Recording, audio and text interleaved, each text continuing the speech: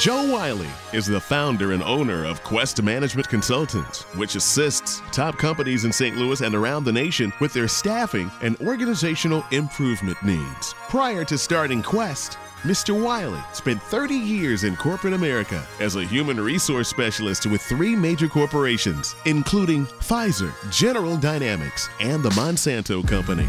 Committed to community involvement, Mr. Wiley sits on the board of directors for Dollar Help and the United Way of Greater St. Louis, just to name a few. Joe has also received numerous awards, including an Alumni Merit Award from St. Louis University, the Inclusive Leadership Award, and was also named one of the most influential St. Louisans by the St. Louis Business Journal. A former basketball star and member of the St. Louis University Hall of Fame, Mr. Wiley also serves as a TV analyst for the St. Louis University Billikens basketball team.